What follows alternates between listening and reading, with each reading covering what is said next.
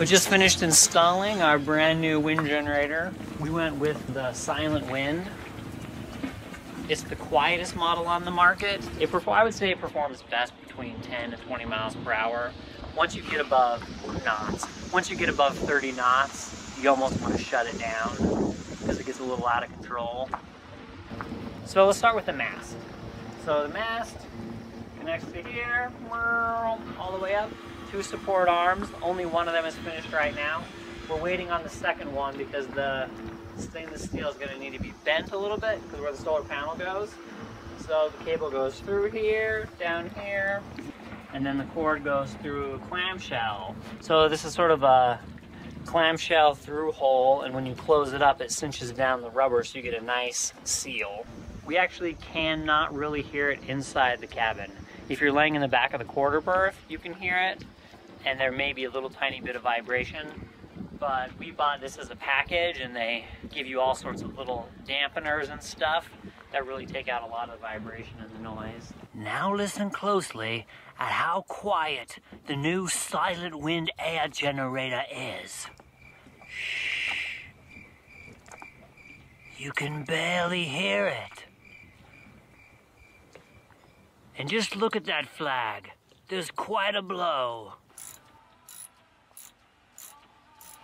Got all these crazy metal pieces and it took me about 30 minutes to figure out how to put it all together. So these go on the bottom and then this mounts to here and I'll slide these around to kind of get it positioned how I want.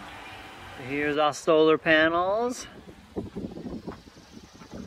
You can see how we mounted them on the Bimini. We did crossbars on the Bimini and then some of these struts to go across here. And then the panels have these mounting brackets on them and then these, these plastic things. And for a little bit more support we have these down tubes and then the bimini is pretty solid.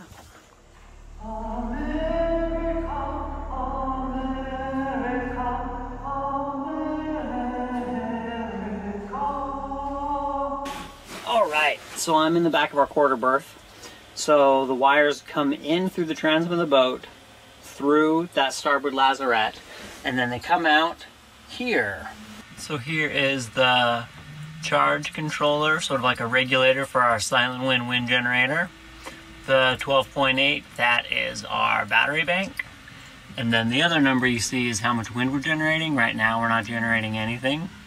This is the controller, the E20 it monitors both our wind and our solar.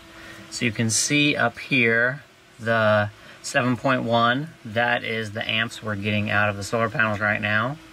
And the 13 point whatever number, that is our battery bank. is registering that high because we're charging them right now. And then this is the run stop switch for the wind generator. When we put it on stop, it disconnects it from the power and a magnet locks it up to keep it from spinning. So you'd want to do that if it was high winds. All right, then we got our breaker panel for the wind and the solar, so you can turn them on and off. This is our little power meter for the wind. It's showing zero right now because the power the wind generator is generating is a little less than one amp. So 3.1, that is how many amps the wind has collected in the past couple hours. The battery bank. And there you go.